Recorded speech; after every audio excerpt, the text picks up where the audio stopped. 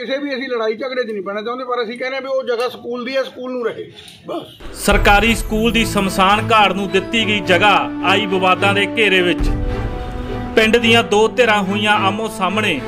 ਜ਼ਿਕਰਯੋਗ ਹੈ, ਗੁਰੂ ਤੇਗ ਬਹਾਦਰ ਸਰਕਾਰੀ ਪ੍ਰਾਇਮਰੀ ਸਕੂਲ ਅੜਾਇਆ ਦੀ ਜ਼ਮੀਨ ਤੇ ਪ੍ਰਸ਼ਾਸਨ ਦੀ ਸ਼ਹਿ ਤੇ ਲਗਾਇਆ ਗਿਆ ਸ਼ਮਸ਼ਾਨ ਘਾਟ ਦਾ ਬੋਰਡ। ਪਿੰਡ ਵਾਲਿਆਂ ਨੇ ਦਿੱਤੀ ਸੰਘਰਸ਼ ਕਰਨ ਦੀ ਚੇਤਾਵਨੀ। ਹੁਣ ਤੁਸੀਂ ਇਹ ਸਾਰੀਆਂ ਮੌਕੇ ਦੀਆਂ ਲਾਈਵ ਤਸਵੀਰਾਂ ਦੇਖ ਰਹੇ ਹੋ, ਜਿੱਥੇ ਸਾਡੇ ਪੱਤਰਕਾਰ ਪ੍ਰਦੀਪ ਕਸਬਾ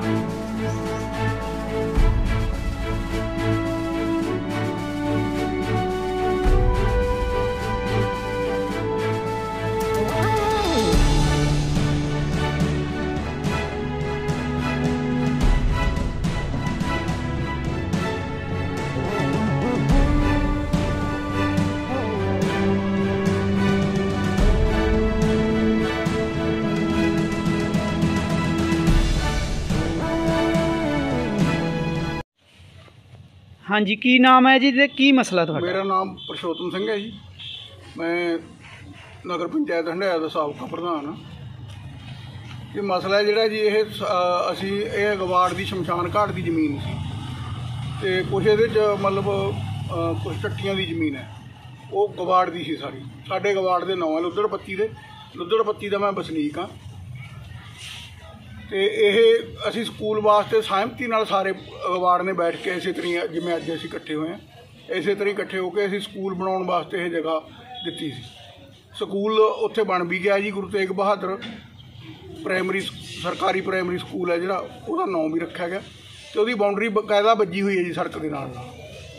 ਤੇ ਉਹ ਤਿੰਨ ਸਾਈਡਾਂ ਤੇ ਉਹਦੀ ਬਾਉਂਡਰੀ ਹੈਗੀ ਹੈ, ਇੱਕ ਸਾਈਡ ਅਸੀਂ ਗ੍ਰਾਂਟ ਅੜੀਕਦੇ ਸੀ ਵੀ ਮਿਲ ਜਾਂਦੀ, ਚਲੋ, ਉਹ ਵੀ ਬਣੀ। ਪਰ ਹੁਣ ਕੁਝ ਬੰਦਿਆਂ ਨੇ ਉੱਥੇ ਆ ਕੇ ਜੀ, ਉਹ ਕੰਧ ਢਾਹ ਕੇ ਸਾਡੀ ਸਕੂਲ ਦੀ। ਉੱਥੇ ਸ਼ਮਸ਼ਾਨ ਘਾਟ ਬਣਾਉਣ ਦਾ ਪਤਾ ਨਹੀਂ ਕਿਹੜੇ ਪ੍ਰਸ਼ਾਸਨ ਦੀ ਮਰਜ਼ੀ ਨਾਲ ਹੋਇਆ ਜਾਂ ਕਿਵੇਂ ਹੋਇਆ, ਸਾਨੂੰ ਇਸ ਗੱਲ ਦਾ ਪਤਾ ਨਹੀਂ ਲੱਗਿਆ। ਸਾਨੂੰ ਪਤਾ ਲੱਗਿਆ ਜਦੋਂ ਉਹਨਾਂ ਨੇ ਕੰਧ ਢਾਹ ਦਿੱਤੀ। ਤੇ ਉੱਥੇ ਉਹ ਇੱਕ ਬੋਰਡ ਜਿਹਾ ਵੀ ਰੱਖਤਾ ਉਹਨਾਂ ਨੇ। ਤੇ ਉਹ ਉਸ ਦਾ ਅਸੀਂ ਵਿਰੋਧ ਕਰਦੇ ਹਾਂ ਪੁਰਜੋਰ। ਵੀ ਅਸੀਂ ਉਹ ਜਗ੍ਹਾ ਜਿਹੜੀ ਉਹ ਸਕੂਲ ਵਾਸਤੇ ਆ, ਉਹ ਸਕੂਲ ਹੀ ਰਹਿਣਾ ਚਾਹੀਦਾ।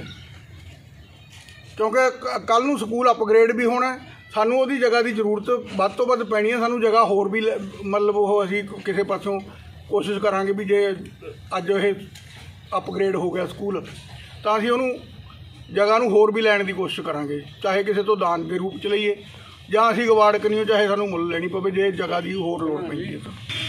ਹਾਂਜੀ, ਜਿਹੜਾ ਉਹਨਾਂ ਨੇ ਸਿਵੇ ਬਣਾਉਣ ਦੀ ਕੋਸ਼ਿਸ਼ ਕ- ਉੱਥੇ ਸਿਵੇ ਬਣਾਉਣ ਦੀ ਜਗ੍ਹਾ ਲੈ ਰਹੇ ਨੇ ਸਕੂਲ ਦੀ, ਜੇਕਰ ਉਹ ਦੂਸਰੇ ਪਾਸੇ ਜਿੱਥੇ ਤੁਹਾਡੇ ਗਵਾਰ ਵਾਲਿਆਂ ਦੇ ਬਣੇ ਨੇ। ਹਾਂਜੀ। ਕੀ ਉਹ ਸਿਵੇ ਉੱਥੇ ਬਣਾ ਸਕਦੇ ਨੇ ਸਾਂਝੇ ਰੂਪ ਚ? ਹਾਂਜੀ ਉਹਦੇ ਵੱਲੋਂ ਉਹਦੀ ਵਰਤੋਂ ਇਹ ਕਰ ਸਕਦੇ ਨੇ ਜੀ। ਜਿਵੇਂ ਮਰਜ਼ੀ ਮਤਲਬ ਅਲੱਗਾ ਨਹੀਂ ਅਸੀਂ ਉਹਦੇ 'ਚ ਜਗ੍ਹਾ ਦੇਵਾਂਗੇ ਕੋਈ। ਉਸੇ ਜਗ੍ਹਾ ਨੂੰ ਵਰਤ ਸਕਦੇ ਨੇ ਉਹ। ਆਪਦਾ ਉਹਦੇ 'ਚ ਸ਼ੈੱਡ ਪਾ ਲੈਣ ਸਾਨੂੰ ਕੋਈ ਇਤਰਾਜ਼ ਨਹੀਂ। ਸ਼ਮ- ਆਪਦੇ ਸੰਸਕਾਰ ਕਰਨੇ ਆ ਜਿਵੇਂ ਮਰਜ਼ੀ ਕਰੀ ਜਾਣ ਸਾਨੂੰ ਕੋਈ ਇਸ ਗੱਲ ਦਾ ਮੇਰਾ ਨਾਮ ਜੀ ਮੱਖਣ ਸਿੰਘ ਮਹਿਰਮੀ ਆ। ਅਸੀਂ 10 ਸਾਲ ਪਹਿਲਾਂ ਨਗਰ ਕੌਂਸਲ ਦੀ ਮੇਰੀ ਘਰ ਵਾਲੀ ਪ੍ਰਧਾਨ ਰਹੀ ਹੈ। ਮੌਜੂਦਾ ਵੀ ਐਮਸੀ ਹੈ ਲੋਧਰਪੱਤੀ ਦੀ। ਤੇ ਇਹ ਮਸਲਾ ਜੀ ਸਾਡਾ ਹੈਗਾ ਇਹ ਲੋਧਰਪੱਤੀ ਨੇ ਆਪਦੀ ਸਹਿਮਤੀ ਨਾਲ ਇਹ ਜਿਹੜੀ ਜਗ੍ਹਾ 'ਚ ਸਕੂਲ ਬਣਿਆ ਸੀ, ਅੱਜ ਤੋਂ 12 13 ਸਾਲ ਪਹਿਲਾਂ ਦੀ ਗੱਲ ਹੈ। ਸਹਿਮਤੀ ਨਾਲ ਜਗ੍ਹਾ ਸਕੂਲ ਨੂੰ ਦਿੱਤੀ ਸੀ, ਜਿਹਦਾ ਨਾਂ ਗੁਰੂ ਤੇਗ ਬਹਾਦਰ ਸਰਕਾਰੀ ਪ੍ਰਾਇਮਰੀ ਸਕੂਲ ਹੰਡਿਆਇਆ ਰੱਖਿਆ ਗਿਆ ਸੀਗਾ।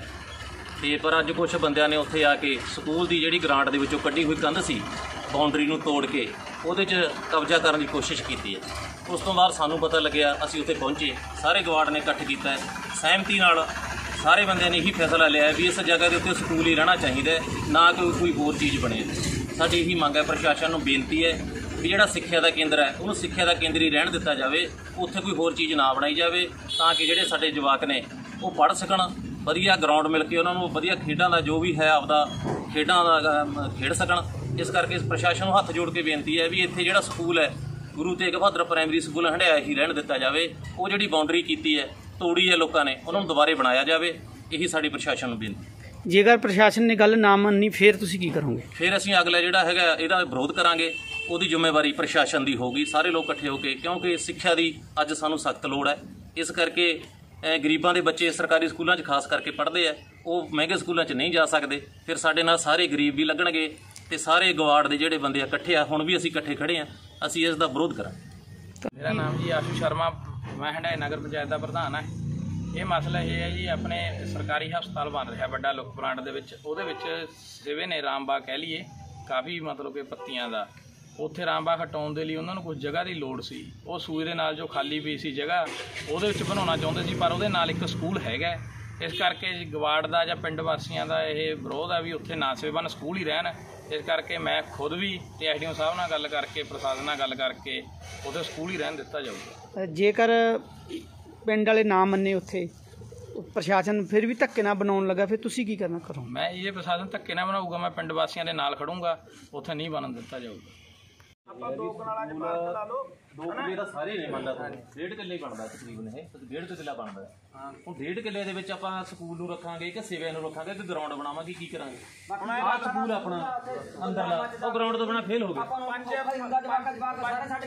ਵਧੀ ਜਾਂਦੀ ਹੈ ਸਟਰੈਂਥ ਤਾਂ ਬੱਚਿਆਂ ਦੀ। ਤਿੰਨ ਕਨਾਲਾਂ ਆਪਾਂ ਪਾਰਕ ਦੀਆਂ ਬਣਾ ਲਈਆਂ ਦੋ ਕਨਾਲਾਂ 'ਚ ਕਿੱਥੋਂ ਸੈਟਿੰਗ ਆ ਜੂ? ਹੁਣ ਇੱਧਰ ਗਰਾਊਂਡ ਨਹੀਂ ਹੈਗਾ ਸਕੂਲ 'ਚ ਗਰਾਊਂਡ ਤੋਂ ਬਣਾ ਫੇਲ ਹੈ ਨਾ। ਫਿਰ ਆਪਾਂ ਨੂੰ ਸਕੂਲ ਦੇ ਵਿੱਚ ਗਰਾਊਂਡ ਨਾਲ ਬਹੁਤ ਜ਼ਰੂਰੀ ਹੈ ਨਾ ਜੇ ਜਗ੍ਹਾ ਉਹਨੇ ਫੇਰ ਵੀ ਬਣਾਵਾਂਗੇ ਜੇ ਆਪਾਂ ਬਣਾਵਾਂਗੇ ਕਿਤੇ ਮੈਂ ਤਾਂ ਦੱਸਿਆ ਆਪਾਂ ਸਾਰੇ ਰਜਾਮੰਦੀ ਨੇ ਪਿੰਡ ਦੇ ਨਾਤੇ ਦੀ ਗੱਲ ਕੀਤੀ ਮੈਂ ਤਾਂ ਹਸਪਤਾਲ ਖਾਤਰ ਮੈਂ ਵੀ ਚਲੋ ਪਿੰਡ ਦੇ ਹਸਪਤਾਲ ਬਾਰੇ ਵੱਡਾ। ਮੈਂ ਤਾਂ ਉਹਦੇ ਖਾਤਰ ਕਿਹਾ ਸੀ ਉਹਨਾਂ ਨੂੰ ਵੀ ਉਹ ਸਾਰੇ ਸਿਰੇ ਜ਼ਮੀਨ ਪਾਉਂਦੇ ਆ। ਉਹ ਕਹਿੰਦੇ ਹੈ ਹਰੇਕ ਬੰਦੇ ਦੇ ਕੋਲੇ। ਹਰੇਕ ਬੰਦਾ ਅਸੀਂ ਅਸੀਂ ਛੱਡੀ ਹੈ ਸਕੂਲ ਵਾਸਤੇ ਛੱਡੀ। ਹਾਂ ਉਹ ਟਹਾਇਆ ਕਿਹਨੂੰ ਪੁੱਛ